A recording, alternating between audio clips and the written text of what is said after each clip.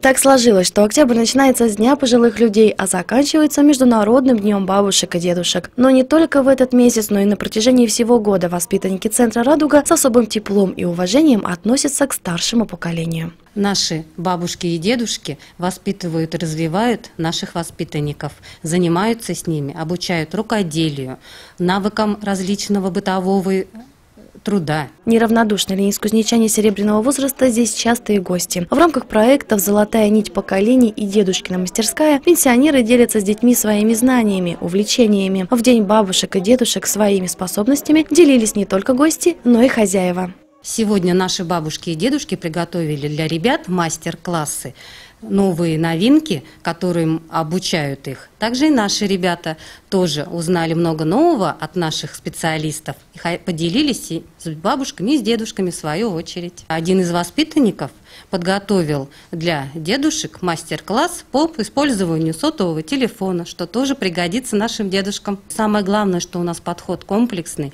что мы учим уважению, любви к старшим, как бы навыкам общения с ними. Также наши ребятишки приготовили подарки, приготовили концертную программу.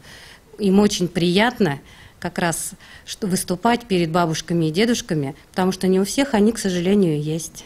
И как полагается в гостях, без чая с угощениями не обойтись. Сотрудники-воспитанники «Радуги» приготовили для бабушек и дедушек концерт с театральными постановками, танцами и песнями. Праздник зимой, праздник